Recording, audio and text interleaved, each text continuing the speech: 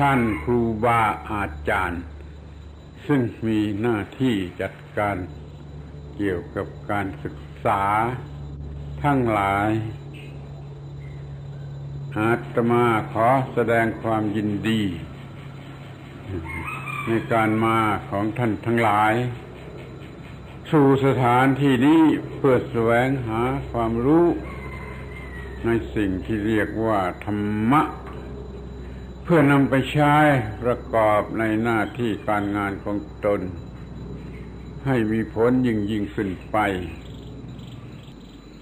เพื่อประโยชน์ของสังคมและประเทศชาติและตลอดถึงโลกให้มีเหตุผลที่ควรจะอนุโมทนาและยินดีด้วย อาตมาจึงขออนุโมทนา และสนองความประสงค์ เท่าที่สามารถจะทำได้ถ้าโปรดทราบไว้ว่า เรื่องเกี่ยวกับเทคนิคการศึกษาอะไรเหล่านี้ไม่ค่อยจะมีความรู้ เพราะไม่ได้เกี่ยวข้องโดยตรง มีความรู้อยู่บ้างก็เรื่องของธรรมะ แต่เผอิญเรื่องของธรรมะมันก็เกี่ยวข้องกันอยู่กับเรื่องของการศึกษายังพอจะพูดกันได้ เท่าที่มันจะเกี่ยวข้องกันมากน้อยเพียงไร การศึกษาก็ศึกษาธรรมะนั่นแหละ แต่เราไม่เรียกอย่างนั้นที่จริงก็คือศึกษาธรรมะ ธรรมะคือวิธีหนทางสำหรับจะรอดจาก ความทุกข์และปัญหาทั้งปวง เรียกว่าธรรมะธรรมะหมายถึงวิธีที่จะถูกต้องเพื่อความรอดจากปัญหาทั้งปวงนี่ก็แบ่งออกเป็นสองขั้นตอนโดยธรรมชาติหมายความว่าคนเรานี่มันมี ทั้งร่างกายและจิตใจเป็นสองฝ่ายกันอยู่ ความถูกต้องต้องมีทั้งสองฝ่ายคือทั้งฝ่ายร่างกายและฝ่ายจิตใจ ชีวิตนี้จึงจะเป็นไปด้วยดี ฝ่ายร่างกายนั้นหมายถึงฝ่ายวัตถุด้วย กายก็เป็นวัตถุหรือวัตถุโดยตรงก็ยังมี เกี่ยวข้องกันอยู่กับกายมันต้องมีความถูกต้องทางฝ่ายกายซึ่งรวมวัตถุอยู่ด้วยนี่อย่างหนึ่ง อีกอย่างหนึ่งเป็นเรื่องทางจิตใจ ซึ่งจะต้องมีความถูกต้องตามกฎเกณฑ์ของเรื่องนั้นๆ เมื่อคนเรามีความถูกต้องทั้งทางฝ่ายร่างกายและจิตใจ มันจึงจะหมดปัญหา ดังนั้นจึงมีธรรมเนียมมาแต่โบราณกาลโดยเฉพาะในประเทศอินเดียซึ่งเป็นต้นต่อของวัฒนธรรมและการศึกษา ของประเทศในถิ่นแถบทวีปนี้ถึงรวมทั้งประเทศไทยด้วยดังท่านทั้งหลายก็เห็นอยู่ทางการศึกษาล้วนๆกันแม้แต่ตัวหนังสือที่ใช้ก็ถ่ายออกมาจากอินเดียจริยธรรมวัฒนธรรมศาสนาก็มาจากอินเดีย ทั้งสองอย่างนี้ชาวอินเดียนำมาให้ถึงบ้านถึงประตูบ้าน เป็นเวลาตั้งพันสองพันปีมาแล้ว เราก็ได้รับและเมื่อสังเกตดูตามระบบการศึกษาของอินเดียโบราณ มันก็มีการศึกษาครบถ้วนทั้งสองฝ่ายอย่างนี้เอง คือฝ่ายร่างกายและฝ่ายจิตใจ เป็นไปอย่างถูกต้อง ว่าที่จริงก็มีขนบธรรมเนียมประเพณีหรือกระทั่งพิธีรีตองละเอียดละออมากสำหรับชาวอินเดีย ซึ่งประกอบกระทำแก่มนุษย์นับตั้งแต่ว่าตั้งครรภ์นะว่าคลอดออกมาเป็นทารกเป็นเด็กโตเป็นหนุ่มสาวเป็นพ่อบ้านแม่เรือนกระสังข้าวโลงไป เราก็มีวัฒนธรรมอินเดียเป็นแบบแผนอยู่ตลอด จัดให้มีการศึกษาขั้นต้นหรือปฐมวัยก็เป็นเรื่องทางกายทางวัตถุ แล้วก็ค่อยๆเพิ่มเรื่องจิตใจ เรื่องจิตใจเข้าไปมากขึ้นมากขึ้น พร้อมที่จะเผชิญโลกก็เรียกว่าจบการศึกษา มีการศึกษา เพื่อความถูกต้องทางทางทางโลก จะเป็นเรื่องทางชีวิตร่างกายทางสุขภาพทางอนามัย สมรรถภาพนะสำหรับจะต่อสู้กับโลกนี้ก็เรียนกัน จนจบในอาสมหนึ่งหนึ่งแล้วก็เลื่อนไปสู่อาสมอื่น ๆ ที่สูงขึ้นไปจนกลายเป็นเรื่องทางจิตใจนี่เป็นธรรมเนียม ผู้จบการศึกษาจากอาสมสูงสุด แล้วก็มีเรียกชื่อว่าเป็นบัณฑิตบัณฑิต มาแต่ข้างกันโน้นแต่เดี๋ยวนี้ก็ไม่เคยเรียกฮะ แปลว่ามนุษย์เราเห็น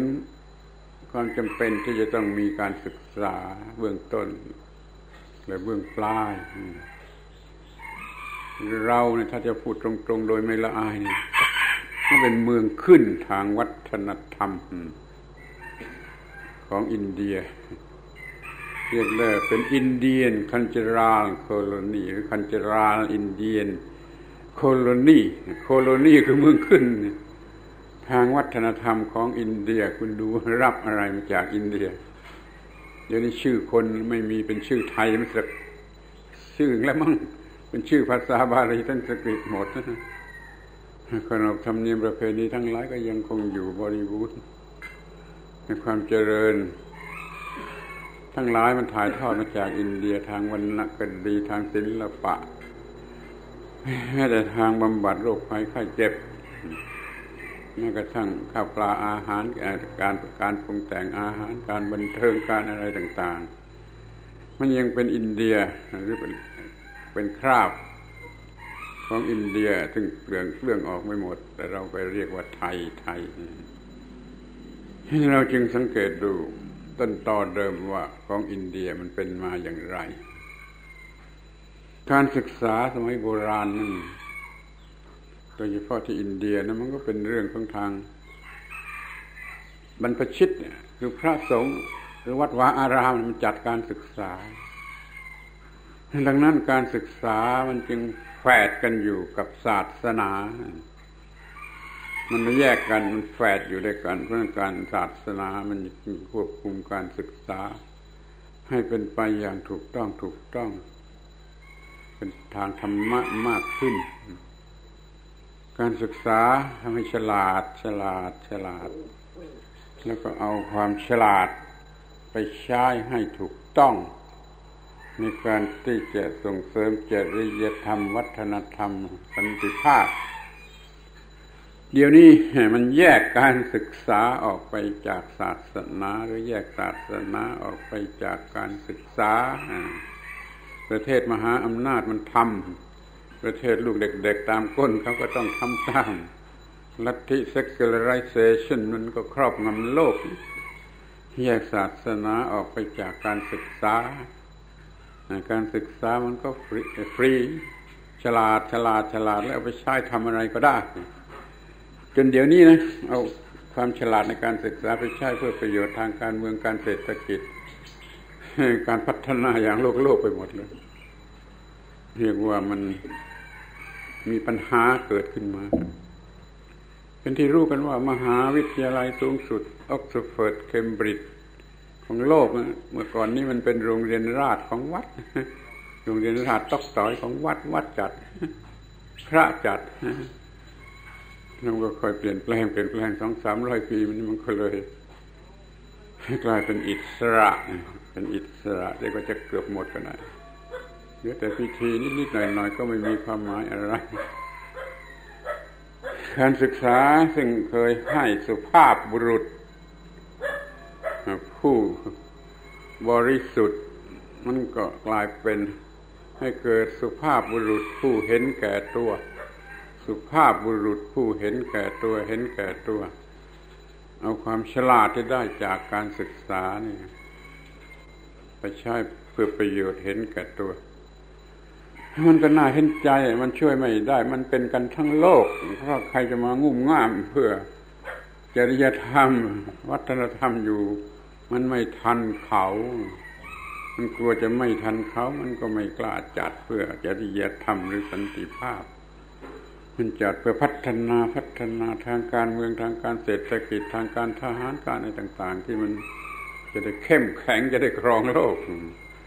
ก็ลองคำนวณดูเองเถอะว่า มันจะเปลี่ยนมากขนาดไหน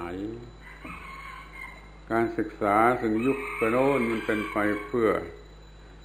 จริยธรรมสันติธรรมสันติภาพวัฒนธรรม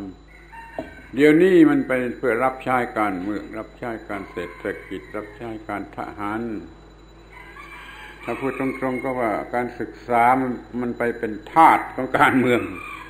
มันไม่ได้ควบคุมการเมืองมันมันไม่เป็นที่นำทางการเมือง เหมือนสมัยโน้นที่มันยังศักดิ์สิทธิ์อยู่ก็จะโทษใคร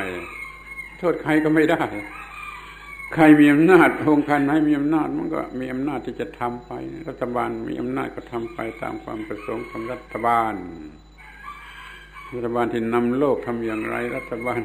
เล็กๆรัฐบาลครึ่งพัฒนาหรือด้อยพัฒนามันก็ต้องทำตาม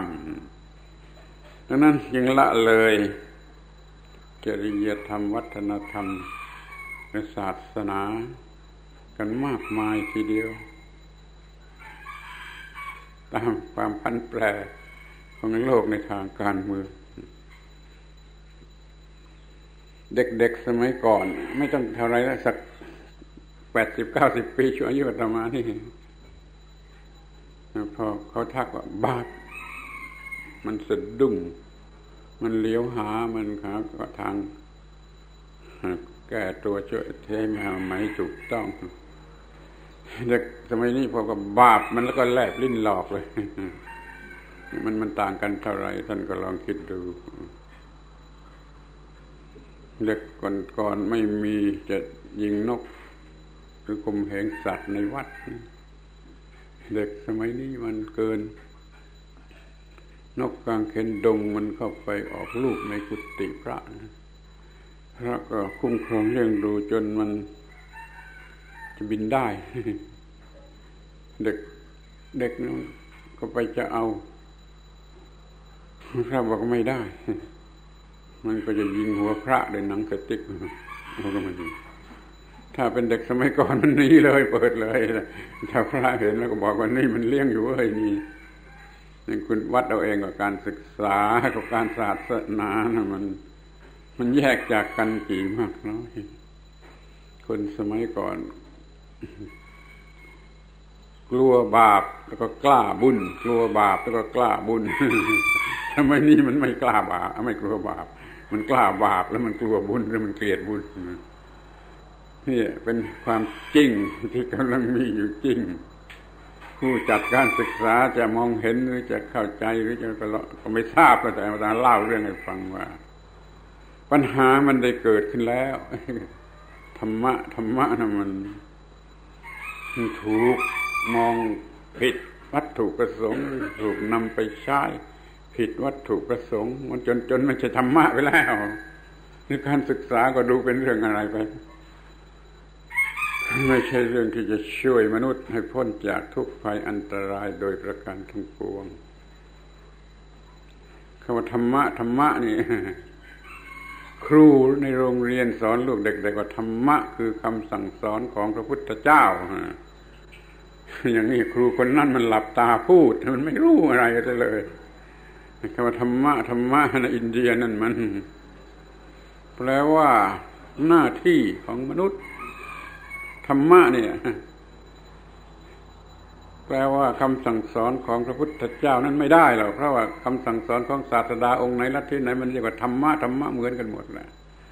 เรียกธรรมะของใครธรรมะของพระสมณโคดมธรรมะของนิคันธนาตบุตรธรรมะของมัคคิริโกสาระตามชื่ออาจารย์ไปเลย เมื่อเขาจะถามกันว่าท่านถือศาสนาอะไร เขาก็ถามว่าท่านชอบใจธรรมะของใครคนนั้นก็ตอบว่าเขาเจ้าชอบใจธรรมะของพระสมณโคดมหรือนิคันธนาตบุตรแล้วแต่เขาจะชอบคำว่าธรรมะไม่ได้แปลว่าคำสั่งสอนของพระพุทธเจ้าโดยผูกขาด ถ้าเป็นเรื่องสอนทางศาสนาแล้วก็เรียกว่าธรรมะ แล้วคำที่สอนหรือเรื่องที่สอนนั้นเป็นเรื่องหน้าที่หน้าที่ ดิกชันนารีสำหรับลูกเล็กๆในอินเดียเรียนธรรมะออกคำแปลว่า duty duty ไม่ใช่ว่าคำสอนหรือศาสนาอะไรธรรมะเอาความจริงไอ้ส่วนลึกของไอ้สิ่งที่เรียกว่าธรรมะเนาะเพราะว่าภาษาบาลีก็ดีภาษาสันสกฤตก็ดีคำว่าธรรมะ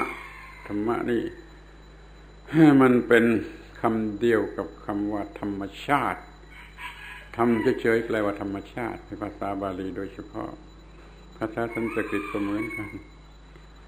ดังนั้นธรรมะจึงหมายถึงทุกเรื่องที่เกี่ยวกับธรรมชาติ จะเป็นตัวธรรมชาติ ดินน้ำลมไฟอันนี้ก็ก็ธรรมชาติก็เรียกธรรมะในฐานะที่เป็นธรรมชาตินี่กฎเกณฑ์กฎธรรมชาติที่มีอยู่ในธรรมชาติเหล่านั้น ก็เรียกว่าธรรมะไอ้ตัวกฎก็เรียกว่าธรรมะแล้วหน้าที่ตามกฎเกณฑ์นั้นๆอ้าวก็เรียกว่าธรรมะ ผลได้รับจากหน้าที่ก็คงเรียกว่าธรรมะ ธรรมะตามธรรมชาติเป็นสภาวธรรม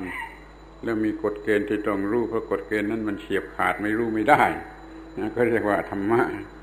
ก็มีหน้าที่ที่จะทำตามกฎเกณฑ์อันนั้นไม่ไม่ไม่ทำมันก็ตายก็เรียกธรรมะทำแล้วได้ผลอย่างไร ก็เรียกว่าธรรมะผิดก็ได้ผลไปอย่างถูกก็ได้ผลไปอย่างนี้คือธรรมะธรรมะหน้าที่ ที่ทุกคนจะต้องปฏิบัติให้ถูกต้องตามกฎของธรรมชาติ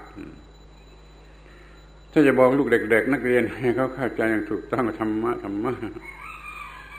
คือการประพฤติกระทำที่ถูกต้องต่อกฎเกณฑ์ของธรรมชาติอาตมาขอร้องให้ผู้สนใจจำกันไว้ดีๆ ง่าย ๆ ว่าธรรมะ คือระบบการปฏิบัติ เราต้องปฏิบัติเป็นระบบไม่ใช่ปฏิบัติข้อเดียว ระบบการปฏิบัติก็ที่ถูกต้อง แก่ความรอด ทั้งทางกายและทางจิต ทุกขั้นตอนแห่งชีวิต ทั้งเพื่อตนเองและผู้อื่น นั่นแหละคือธรรมะ ไม่ใช่คำสั่งสอนของพระพุทธเจ้า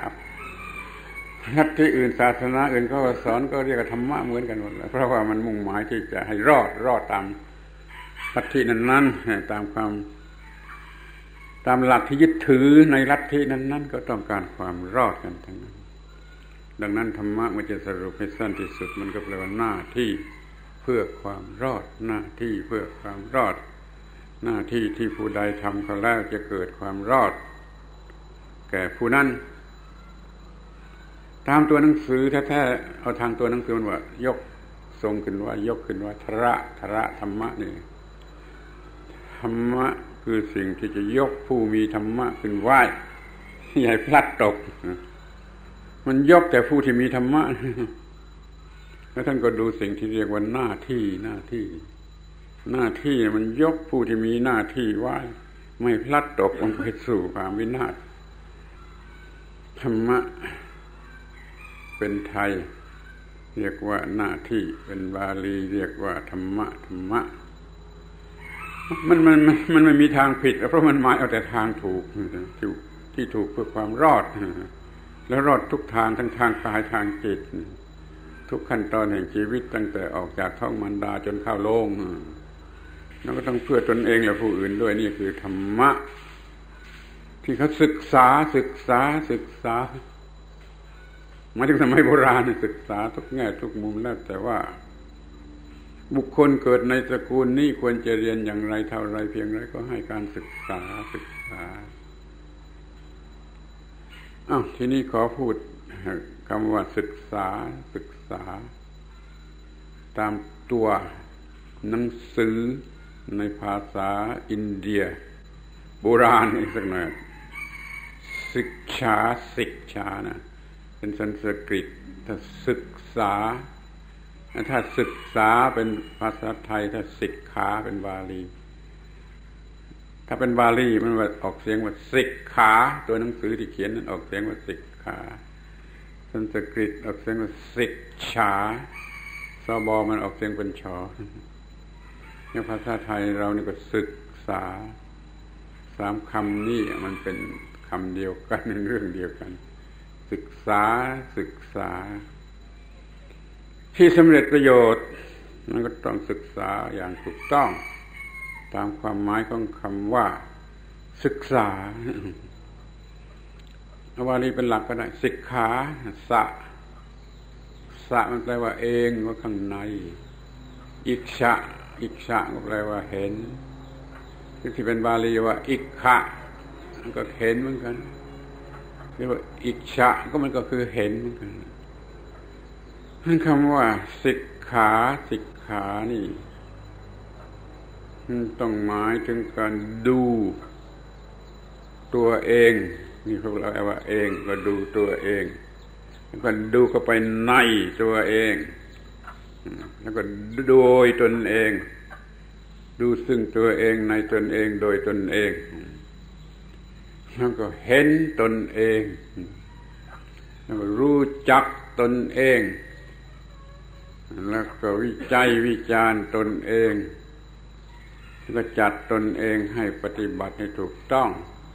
ตามผลที่ได้วิจัยวิจารณ์แล้วว่าควรทำอย่างไร นี่คือความหมายของคำว่าสิกขาไม่ใช่เขียนใส่เขียนโดยชอกใส่กระดานดำบอกให้ดูหรือจดไว้ในสมุด มันไกลกันลิบท่านไปเปรียบเทียบดู ดูตนเอง ด้วยตนเองในตนเอง มันจึงจะเห็นตนเองมันต้องดูเป็นจึงจะเห็นตนเองต้องฉลาดมันยังจะรู้จัก รู้จักบางทีเห็นแล้วไม่รู้จักนี่ก็มีต้องรู้จักตนเอง แล้วก็วิจัยวิจารณ์ไงนั่นไงนี่ไงโน่นมามีเหตุมีผลอย่างไร วิจัยวิจารณ์ได้ผลอย่างไร แล้วก็ต้องปฏิบัติด้วยตนเองนั่นแหละสิกขา ในภาษาบาลีหรือสิกชาในภาษาสันสกฤตหรือศึกษาในภาษาไทย ดูตนเองด้วยตนเองในตัวเอง เห็นตัวเอง รู้จักตัวเอง วิจัยวิจารณ์ตัวเองแล้วก็ปฏิบัติเจ็ดขั้นตอน สมบูรณ์เป็นความหมายของคำว่า ศึกษา ถ้ายังไม่ได้รับผลจากการศึกษาโดยแท้จริงก็พยายามปรับปรุงให้การศึกษา เป็นไปโดยลักษณะนี้มันก็จะได้ของจริงออกมาสำหรับปฏิบัติ แล้วก็ได้รับผลของการปฏิบัติ ที่มันมีขอบเขตอย่างไรเข้าเขตเพื่อความรอดทั้งทางกายและทางจิตนั้นการศึกษาต้องรับใช้ ศีลธรรมและจริยธรรม วัฒนธรรมเป็นต้น เพื่อให้มันเกิดความถูกต้องทางจิต เกิดความรอดทางจิต มนุษย์จึงจะรอด เพราะมีความถูกต้องทางจิต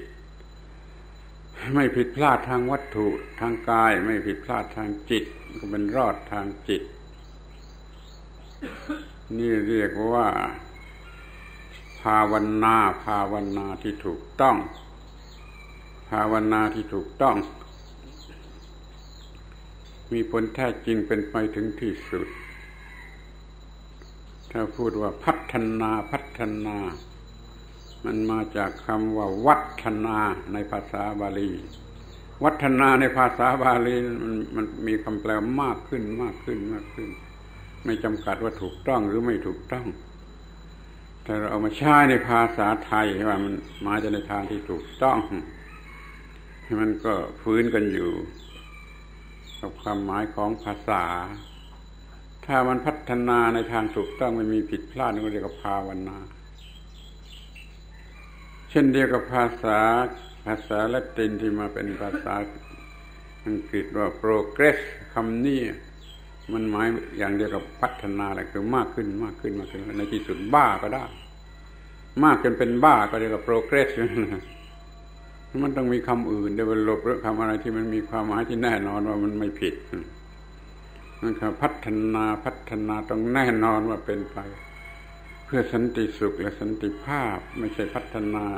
จนเป็นบ้า เดี๋ยวนี้โลกกำลังพัฒนาจนเป็นบ้าไปหลงเงิน ให้มากอำนาจให้มาก หรือว่ากิจการที่จะเอาเปรียบผู้อื่น จะครองโลกให้มันมาก ก็เรียกพัฒนา ยุ่งไปหมด มันก็เลยแยกเป็นสองพัฒนา พัฒนาทางวัตถุให้รับใช้การเมืองไป พัฒนาทางจิตก็รับใช้ศีลธรรม จริยธรรมไป เดี๋ยวนี้ในโลกนี้สนใจจะเริญพัฒนาทางวัตถุ พัฒนาเพื่อจะมีอำนาจมี เงินมีอาวุธมีอะไรครองโลกมันโลกมันจึงยุ่ง ทั้งโลกเวลานี้ไม่ได้พัฒนาเพื่อสันติภาพ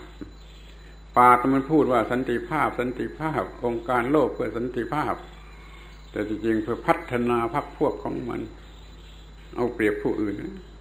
ที่ประชุมนั่นต่างฝ่ายต่างจะเอาเปรียบกันพูดกันไม่ค่อยรู้เรื่องทะเลาะกันไปพอได้ประโยชน์ร่วมกันเพียงจะเอา อย่างนี้มันพัฒนา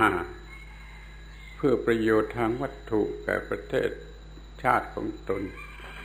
ไม่ใช่พัฒนาเพื่อประโยชน์ทางจิตใจทางจริยธรรมศีลธรรม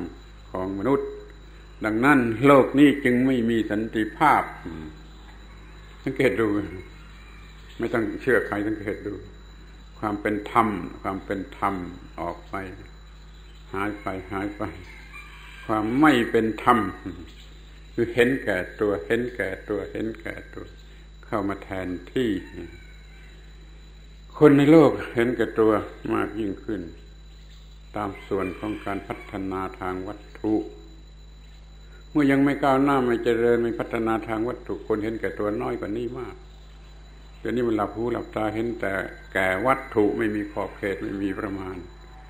เลยเห็นแก่ตัวเห็นแก่ตัวเห็นแก่ตัวจนถือศาสนา เห็นแก่ตัวศาสนาคนสมัยนี้คือเห็นแก่ตัว ผู้มีอำนาจสูงสุด มหาประเทศก็เห็นแก่ตัว ประเทศด้อยพัฒนาก็เห็นแก่ตัว เศรษฐีก็เห็นแก่ตัวขอทานก็เห็นแก่ตัว ลูกจ้างก็เห็นแก่ตัวนายจ้างก็เห็นแก่ตัว คนจนก็เห็นแก่ตัวคนมั่งมีก็เห็นแก่ตัว คนขอทานก็เห็นแก่ตัว คนซื้อก็เห็นแก่ตัวคนขายก็เห็นแก่ตัว ผู้น้อยก็เห็นแก่ตัวผู้ใหญ่ก็เห็นแก่ตัว ความเห็นแก่ตัวมันกำลังครองโลกซึ่งมันไม่เคยมีมันก็มีมา ความเห็นแก่ตัวมันจึงอัดแน่นอยู่ในโลก คุณจะอำนาจไหนมาต้านทาน จะจัดการศึกษาอย่างไร จะลดความเห็นแก่ตัวเดี๋ยวนี้ความเห็นแก่ตัวมันได้เปรียบได้เปรียบครองมันครองโลกครองโลกความเห็นแก่ตัว บุคคลเห็นแก่ตัวขี้เกียจไม่อยากทำแต่จะเอาประโยชน์ เอาเปรียบหิชาริษยาจองหอมของขนไม่สามัคคีไม่ไม่ไม่ไม่ร่วมมือในการที่จะทำความเจริญกับส่วนรวม นี่เรียกว่ามันเห็นแก่ตัวโดยบุคคลนั่นอันธพาลรวยลัดต้นจี้ดีกว่าไปทำงานให้เหงื่อไหลกันย่อย อันธพาลมันจึงมากมากมากกันในส่วนบุคคล ส่วนบุคคลเป็นอันธพาลแล้วครอบครัวมันก็เว้นไม่ได้ มันก็เป็นหมู่คณะก็เป็นประเทศก็ปล่อยเป็นทั้งโลกมันปล่อยเป็นพัฒนาพัฒนาอะไรกัน ยิ่งศึกษายิ่งเห็นแก่ตัวลึก เมื่อไม่รู้หนังสือยังเห็นแก่ตัวตื้นตื้นโง่โง่เพราะมันไม่มีปัญญาพอมันศึกษาลึกมันเห็นแก่ตัวลึกใช้ปัญญาอย่างลึกเนี่ยเห็นแก่ตัว การศึกษาให้ปัญญาให้ปัญญาดีมากกว่าสมัยก่อนๆ แต่การศึกษาสมัยนี้ก็ถูกเอาไปใช้ ปัญญาสมัยนี้ถูกเอาไปใช้เพื่อเห็นแก่ตัว ไม่เหมือนสมัยก่อน สมัยก่อนเข้าปัญญาไปใช้เพื่อประโยชน์ส่วนรวมเพื่อโลกเพื่อสังคม นี่ใครรับผิดชอบ ใครกล้าทำการพัฒนาเพื่อสังจริยธรรม เพื่อวัฒนธรรม ประเทศชาติมหาอำนาจมันก็ไม่กล้าทำ ราะมันมาเมื่อทำอย่างนี้อยู่มันเสียเปรียบประเทศอื่น ซึ่งมันไม่ทำอย่างนี้นะมหาอำนาจมันก็มีหลายประเทศ คอยจ้องกันอยู่ที่จะเอาเปรียบ มันก็เลยมุ่งจะพัฒนาเพื่อการต่อต้านเพื่อการชนะไปไม่ไม่กล้าพัฒนาเพื่อศีลธรรมจริยธรรมเพื่อสันติภาพ มันก็ปล่อยไปตามบุญตามกรรม โลกจึงเป็นอย่างนี้ ครูทำได้ที่ไหนถ้ากระทรวงไม่เอากฎเกณฑ์อันนี้ กระทรวงจะทำได้ที่ไหนถ้ารัฐบาลทั้งหมดไม่เอากฎเกณฑ์ตามนี้ประเทศเดียวจะกล้าทำได้อย่างไรเมื่อประเทศทั้งหลายเขาไม่เอาอย่างนี้เขาจะเอาแต่การได้เปรียบ นั่นแหะคือปัญหาแท้มันต้องคล้ายๆกับพลิกแผ่นดินกันใหม่สะสางชำระสะสางกันมาให้มีความถูกต้อง มาแต่มนุษย์ทุกคนมนุษย์ทุกคนอย่าเห็นแก่ตัวเห็นแก่ตัวมากขึ้น เห็นแก่ตัวมากขึ้น จนโลกนี้เต็มไปด้วยปัญหา โง่โง่ปัญหาโง่โง่บรมมังโง่ คือปัญหามุลภาวะ ซึ่งมันไม่เคยมี มุลภาวะนี่คนเห็นแก่ตัวสร้างทั้งนั้นแหละ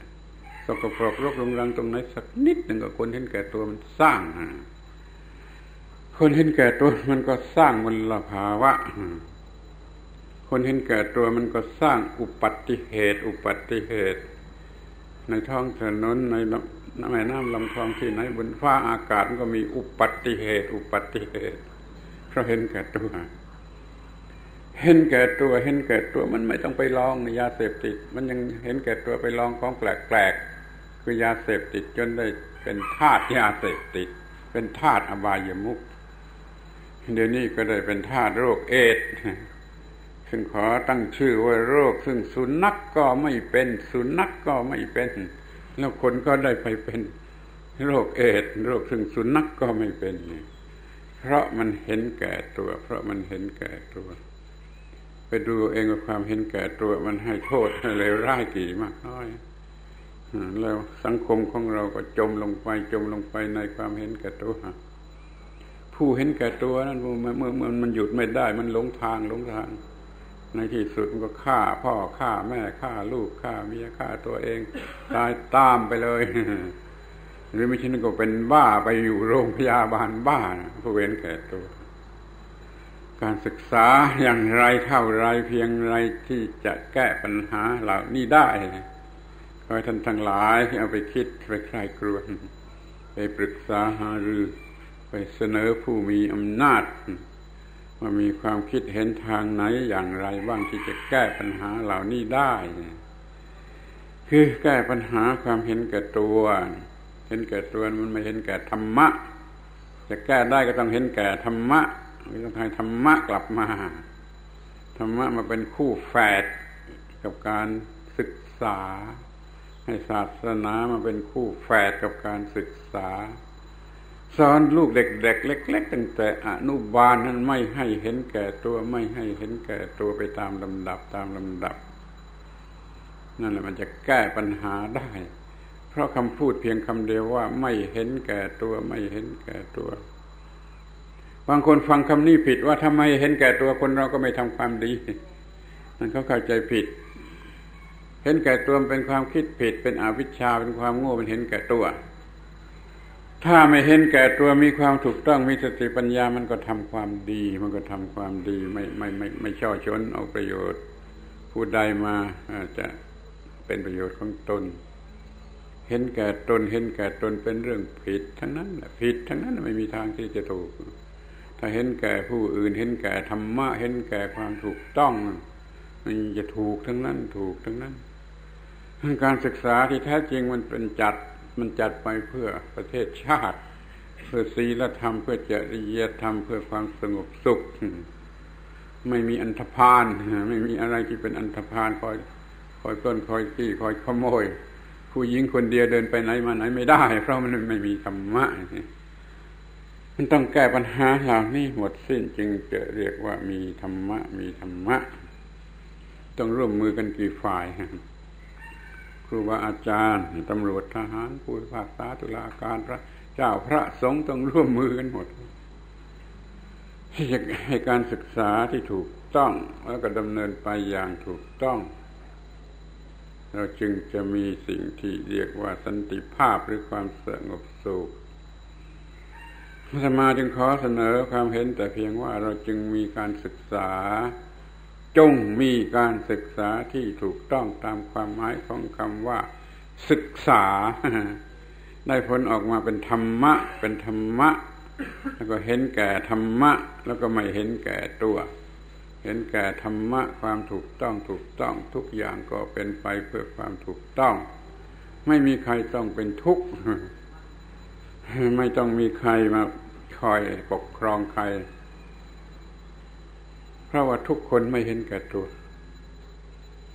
จะไม่มีใครเชื่อก็ได้ แม้ท่านทั้งหลายที่นั่งอยู่ที่นี่ก็อาจจะไม่เชื่อว่าถ้าไม่มีความเห็นแก่ตัวแล้วไม่ต้องมีการปกครองเราจะไม่เชื่อมันจะเป็นไปได้ที่ว่าทุกคนจะไม่เห็นแก่ตัว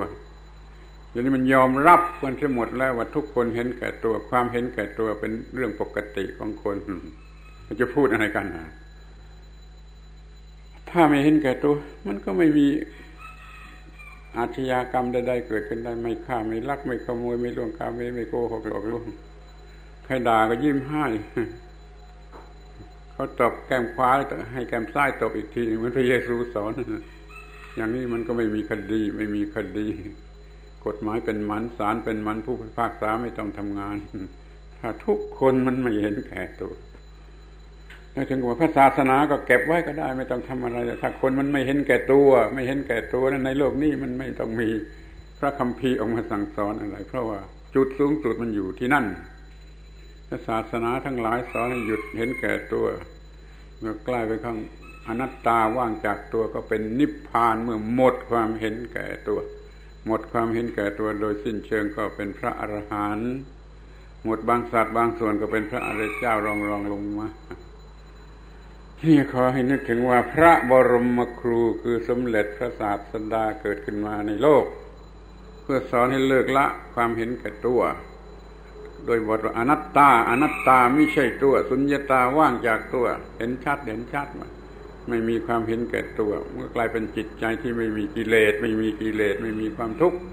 เป็นพระอริยเจ้า เมื่อมองดูศาสตร์การศึกษาในโรงเรียนมันเรียกว่าชั้นต่ำแล้วมันจุดตั้งต้นของลูกเด็กๆของลูกทารก แต่มันก็ต้องตั้งต้นที่ถูกต้องถูกต้องคือเป็นไปเพื่อความไม่เห็นแก่ตัวแล้วครูนั่นแหละเป็นผู้ประเสริฐที่สุดเป็นปูชนียบุคคล แต่ก่อนมันก็ไม่ต้องมีโรงเรียนมีเงินเดือนแต่ก็มีครูแยะสอนประชาชนสอนลูกเด็กให้มีธรรมะ เราจะถือว่าครูเป็นปูชนียบุคคล เพราะครูยอมลำบากลำบากลำบากยุ่งยากเลือประมาณไม่จะรับเงินเดือนก็รับนิดเดียวพออยู่ได้นั่นแต่สอนในสิ่งประเสริฐสูงสุด ให้แก่มนุษย์ได้รอดพ้นจากความทุกข์ทั้งปวง พระพุทธองค์เป็นบรมครู รับเงินเดือนวันละบาทคือไปบิณฑบาตวันละบาทนะข้าวบาทนั่นเงินเดือน พระบรมครู เดี๋ยวนี้ลูกครูนี่ได้เงินเดือนวันละหลายบาทเดือนละหลายพันจนทั้งหมื่นก็มีพระพุทธเจ้าเงินเดือนวันละบาท เป็นพระบรมครู เพราะเหตุไรเพราะเหตุว่าท่านมีความเสียสละ เสียสละทุกสิ่งทุกอย่าง เพื่อให้สังคมมันรอด ท่านเป็นครูเพื่อสังคมมันรอด ไม่ได้เป็นครูเพื่อรับเงินเดือนนี่เคยคิดกันดูให้ดี ๆ เอาแล้วรับเงินเดือนก็ไม่เป็นไร ขอแต่ว่าให้เราทำสิ่งที่มีค่ามากกว่าเงินเดือนหลายเท่า ให้แก่สังคม ก็ยังเป็นปูชนียบุคคลอยู่นั่นแหละ หมอ รักษาคนให้รอดตาย รับเงินเดือนบ้างก็ไม่เป็นไร ก็ยังเป็นผู้มีบุญคุณอยู่ผู้ภาคษาตุลาการ รักษาความเป็นธรรมสูงสุดรับเงินเดือนนิดหน่อย ก็ยังเป็นปูชนียบุคคลนะ รับประโยชน์นิดเดียวแต่พออยู่ได้ท่านั้นแล้วก็ทำให้เขาได้รับประโยชน์สุขสูงสุดนี่ก็เป็นปูชนียบุคคลท่านครูทุกคนจงพอใจยินดีว่าเรามามีอาชีพอาชีพของปูชนียบุคคล ให้สิ่งเป็นมีค่ามหาศาลแก่สังคม รับผลตอบแทนนิดเดียว จงสนุกกับการเป็นครูพอใจกับการเป็นครู บูชาความเป็นครูเมื่อได้ทำหน้าที่ครูก็พอใจชื่นใจสนุกเลยเป็นสุข พอนึกถึงแล้วก็ยกมือไหว้ตัวเองได้ ถ้าครูทุกคนทำงานจนยกมือไหว้ตัวเองได้แล้วก็หมดปัญหา ปัญหาไม่มี ไม่ต้องมาคิดคนอะไรกันยุ่งยากลำบากทำครูทำหน้าที่ครูให้สุดความสามารถให้เกิดผลเป็น ความไม่เห็นแก่ตัวแก่ลูกเด็กๆสูงขึ้นไป แล้วก็ทำอย่างเรียกว่าสนุกหรือบูชาการทำเอาเอาพระบรมครูเป็นตัวอย่างพระพุทธเจ้าเรียกพระบรมครู ยังไม่ทันสว่างก่อนสว่างท่านนึกไปทั่วทั่วทั่วทั่วบ้านทั่วเมือง วันนี้จะไปโปรดใครที่ไหน ใครควรจะไปโปรดพอสว่างขึ้นก็ไปเลยที่นั่นไปในรูปของการบินตบาทแต่ที่จริงจะไปโปรดเขาไปทรมานเขาไปสอนเขาให้สำเร็จางทีก็ชั้นที่นั่นคุยกันที่นั่นกว่าจะได้กลับวัด พักเที่ยงนิดหน่อย เพราะมันร้อนพอบ่ายขึ้นก็ต้องสอน คนเป็นอันมากที่ไปหาที่วัดนะเขาไปหาท่านที่วัดตอนบ่ายท่านก็ต้องสอนเขาสอนเขาคนนั้นคนนี้คนนั้นพอเย็นก็จะพักนิดหน่อยหรือไม่อาจจะพักก็ได้ถ้าเรื่องมันต่อกันพอค่ำลงก็สอนภิกษุสามเณรประจำวัด เรื่อยๆไปพอถึงเที่ยงคืน เที่ยงคืนก็สอนพวกเทวดา เทวดามาจากสวรรค์หรือพระราชามหากษัตริย์ที่นิยมเรียกกันว่าเทวดา เทวดา ท่านต้องสั่งสอนเขาต้องตอบปัญหาเขาเที่ยงคืนไปจนดึกดื่นเลยไปพักผ่อนนิดหน่อยงีบเดียวแล้วเดี๋ยวก็มันหัวรุ่งอีกแล้วพอหัวรุ่งก็ต้องส่องโลกดูทั่วโลกดูทั่วบ้านทั่วเมืองว่าพรุ่งนี้จะไปโปรดใครดูที่ท่านทำงานวงจรยี่บสี่ชั่วโมง เราทำงานอย่างนั้นหรือเปล่า เมื่อท่านเสร็จธุระที่เมืองนี้จะไปเมืองนู้นท่านทำยังไงท่านก็เดินไป มันไม่มีรถยนต์